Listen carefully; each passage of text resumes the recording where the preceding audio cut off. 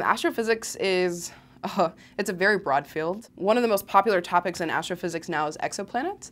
Um, so exoplanets are planets that exist outside of our solar system. Um, so we have the, the eight planets, sorry Pluto, the eight planets that are in our solar system. Um, so what there's technology like um, the TESS mission and eventually JWST, the James Webb Space Tele Telescope, excuse me, um, that will look at these planets outside of our solar system. And the big thing now is to look to see if they're habitable.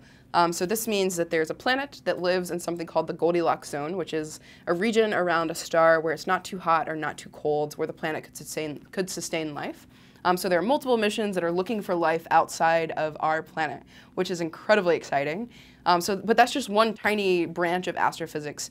Um, astrophysics could be could involve looking at galaxy formations, looking at just stars in general, how the universe is formed. There's something called the cosmological back, background radiation, which is like the remnants of like the first creation of the universe and its, its existence entirely.